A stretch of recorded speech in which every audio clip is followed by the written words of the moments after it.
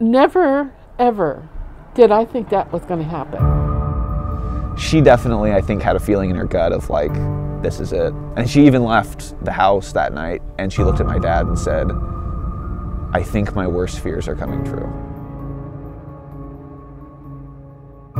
Holiday Farm fire was burning through the Willamette National Forest. It was really obvious early on that it was going to spread rapidly. It destroyed about 173,000 acres and burned through several towns along the McKenzie River. All the houses, everything was burning all around me, and I thought, I'm so screwed. They don't know if their family members, their friends, or their neighbors made it out alive. I think the unknowing period, looking back on it, was one of the more stressful and probably anxious times of my life.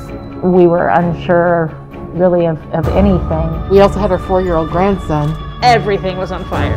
How was there only one death on the Holiday Farm fire? The fire was moving as quickly as I could drive. Gosh, it just seemed like it was going faster than we were going. Seriously thought we were going to die. Thought we were going to die. I'm Noah Camuso, and this is The Ones Who Stayed.